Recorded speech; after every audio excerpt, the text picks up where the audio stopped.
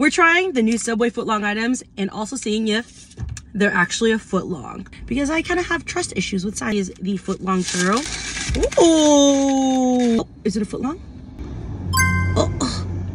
They put it in one of those sandwich baking machines and then they put some cinnamon and sugar on. Oh. It's not a bad churro. Could it be crispier? Maybe.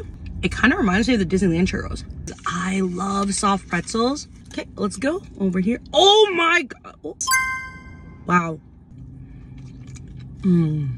What it looks like in the middle. I like this one more than the churro. Oh my gosh, she's a beauty. I hope they end up making this in different flavors because I would love a foot long version of their macadamia nut one. I think this one might be a little bit less than a foot long. Maybe during baking, there's a little shrinkage. It comes with a spoon soft cake. Now that I finished this, I don't know what to do with my life because I've been waiting for this foot long situation.